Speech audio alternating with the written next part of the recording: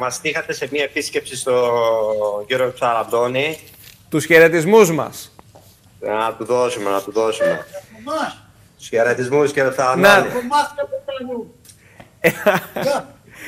τους χαιρετισμούς μας τον αγαπάμε πολύ, τον σεβόμαστε και αποτελεί Και έμπνευση για όλους μας να του μεταφέρετε. εμείς. Εκεί ο Ψαραντώνης τι λέει τώρα δίπλα; Ε, εδώ, ο Ψαραντώνης μπορεί να σας κάνει μια... Μία, μη- μία ατάκα για το παιδί να μας πει, αν έχει συναντήσει άλλο παρόμοιο.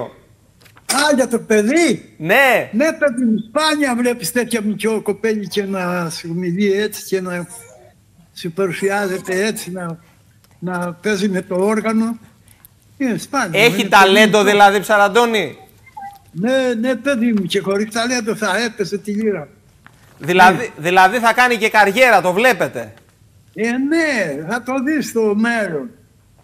Ναι, θα το δείτε και γρήγορα. Εσείς Γεια. πώς, εσείς πώς νιώθετε που βλέπετε τα νέα παιδιά να πιάνουν λίρα και να την αγαπούν; Χαίρομαι, αγαπώ τα παιδιά αυτά πολύ γιατί ε, ξυπνούν και γνωρίζουν την παράδοση και την ιστορία μας. Αυτό μου δεν ενδιαφέρει. Εντάξει. Να είστε καλά, να είστε καλά. Εσύ το είναι, και εσύ να είσαι καλά. Να σας ευχαριστήσουμε πάρα πολύ.